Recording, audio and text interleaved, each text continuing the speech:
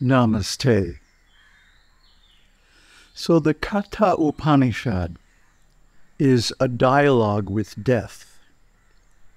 The meaning of Katha, with the dot under the T, uh, the ordinary Katha without the dot means like stories, pastimes, uh, instructions, even, or things that were done, you know, like histories in the past. But Katha, with the dot underneath it, and when it's pronounced properly, it means distress. I had to dig deep into the Sanskrit dictionaries to find this. It means distress, but it's also a name of Shiva. So Shiva is death. I mean, uh, according to the Puranas, death, Yamaraj, is the son of the sun god, Vivasvan. So he is often called Vaivasvan or Vaivasvata. And that has the implication of being all pervading. Because just like the sun, death is everywhere, wherever life is, and we find life everywhere. It's said death is born along with your birth. And what does that mean? Well, the body is temporary. All bodies are temporary. All form has a beginning, a middle, and an end.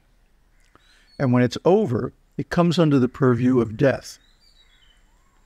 So, what is death exactly? What does it mean? How does it work? Well, these are natural questions that I think everybody has from childhood, from the time of uh, recognizing death and its inevitability. One wants to know what's going to happen to me, isn't it? So the story opens with a boy at his father's sacrifice. And he sees some irregularity in the sacrifice. And so he offers himself to be given, to be sacrificed. And the father says, I send you unto death. So he wants to make his father's word good. You remember, this is this is not about ordinary people in Kali Yuga. this is about people of extremely high character and integrity.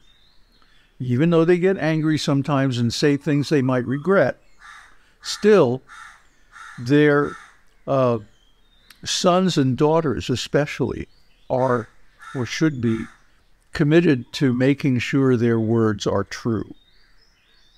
So, anyway, Nachiketas, the boy, offers himself as a sacrifice, and he gets sent to death. And it's not really described in the Upanishad how that happens, but uh, one scene closes and the next opens in the house of death. And death is away. Doesn't say what he's doing. He has some business. You know, I, I doubt that he takes a vacation. uh, at least in this material world, it seems like death is everywhere. So when he returns, he begins a dialogue, a dialogue with death. And he asks death these questions, these deep, searching, fundamental questions about, you know, what is life? What is death? What is consciousness? What is being itself? And how to deal with it, how to uh, make ourselves actually immune to death. And of course, the, the secret, the Buddha would tell you in a second, the secret is not being born. if you're not born, you don't die. Period. Because death is a feature, not a bug, of the gross material body, the annamaya kosha. So the annamaya kosha is temporary because all gross matter decays. It burns, it oxidizes, it literally burns up uh, by the influence of the sun It's a nice sunny morning today, so I thought I'd come out here. Uh, it's a beautiful day. But uh, every day, the sun, as it goes around, reduces our lifespan by one day, isn't it? So that's why in Jyotish, in Vedic astrology, the sun is viewed as an inauspicious planet because it takes away our life day by day. And so the son of the sun is Yama, death. That makes sense, right? If the sun is the one who's reducing our lifespan, then death would be his son. So the son of the sun meets the son of Gotama.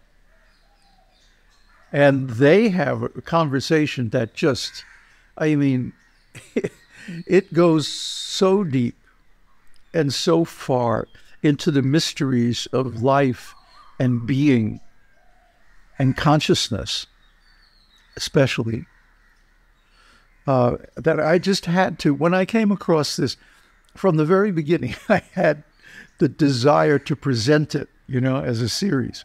But it's tough, it's hard. This series is not going to be easy. We're going to have to go deep into the Sanskrit. We're going to have to analyze each and every word and get its real meaning. And uh, fortunately, we have guidance. We have the commentary of Shankaracharya. Now, Shankaracharya is probably the preeminent Advaita teacher and practitioner. I mean, you can't teach what you don't have, right? So, in his very short, way too short uh, lifespan, he authored many books, and one of them was a commentary on this very Katha Upanishad. Kathopanishad. You have to pronounce the T properly. It's not kata, it's kata. Uh, kata Upanishad. So, uh, Kathopanishad is one of those Upanishads that goes deep into non duality, into the nature of Brahman, the nature of being, the nature of consciousness, and of course, the nature of bliss. Now, we're presenting this in parallel with the Shiva Sahasranama, the thousand holy names of Shiva. So, what do the two have to do with each other? Well, before we talked about, I mean, in the early days of this channel, we talked about existentialism and being in the world, and that's the preliminary stage. Then we talked about rituals and mantras and that kind of external devotional service. Uh, then we talked about bhakti, specifically bhakti to the mother, to the goddess Shakti. And that brought us to Shiva. And Shiva is meditation. You always see him in the forest seated in meditation. And what does this mean? It means that Shiva is non duality. If religious rituals and so on represent Jagrat consciousness, consciousness of the external world. And bhakti or devotion represents swapna consciousness or dream consciousness. Then Shiva represents sushupti or deep sleep, the emptiness, the nothingness, the goal of all authentic meditation. Huh? to stop the mind, to stop words and thinking, uh, to stop speculating, to stop desire and the formation of thoughts that lead to becoming. So the end of becoming is the beginning of real being. And this is self realization. This is Brahman. But Brahman is known only to those who have passed the tests of religion, of devotion, of meditation, and finally develop devotion for Shiva. Uh, because Shiva is Yama.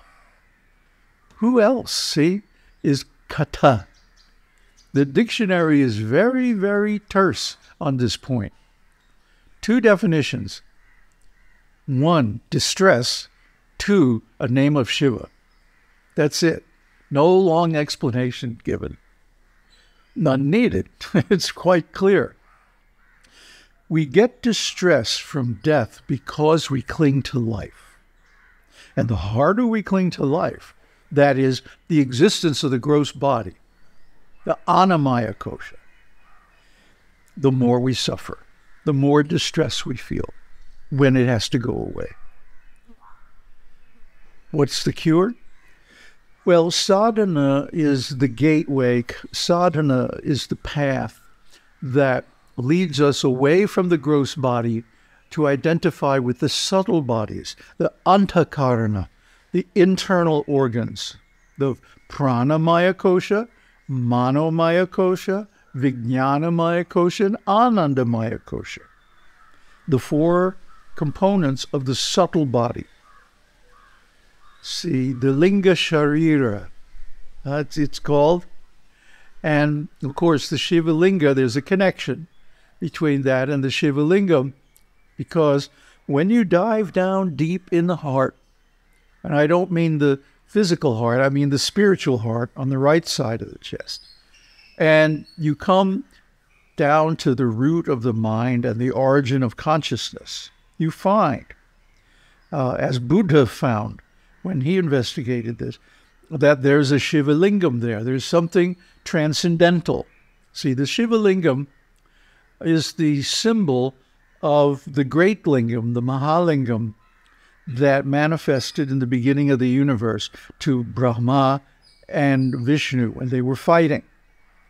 This was Shiva putting an end to their conflict by saying, hey, you guys, there's something bigger than y'all. because neither of them could find the top or the bottom. He is beyond the material universe from the beginning because he is the origin of the material universe. He's the origin of Maya. Huh? He creates Shakti according to his desire. So, what happens in the world is not our desire uh, or the way the world is made. It's not our desire, it's his desire. Kata. Right?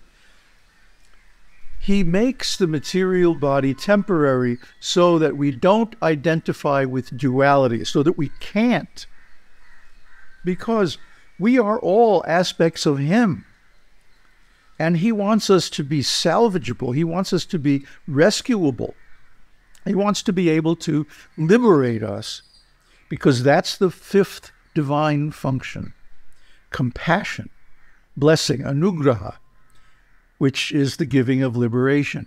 And Shiva reserves that right for himself alone, although he does share it with demigods such as uh, Vishnu and Yama. So Yama can give liberation if we become his friend. And to do that, we have to pass his tests. And we're going to hear all about this in this Upanishad how Nachiketa passed all the tests of death and was awarded the highest knowledge that leads to complete self realization and liberation. Om Tat Sat. Om Shakti Om. Om Namah Shivaya.